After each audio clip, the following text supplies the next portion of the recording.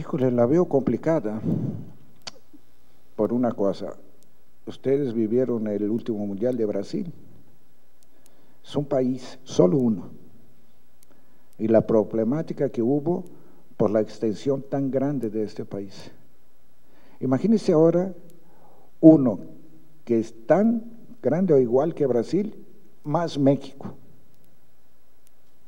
Yo creo que los dos países tienen la capacidad para hacer un mundial solo, la verdad.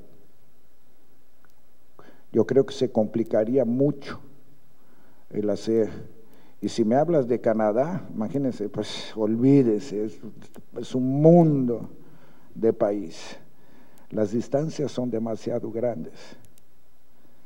O sea, nosotros salimos de Monterrey a Vancouver, fueron seis horas. Pienso que México tiene toda la capacidad de infraestructura, posición económica, afición, todo para hacer su mundial solo. Estados Unidos, naturalmente, también lo puede hacer.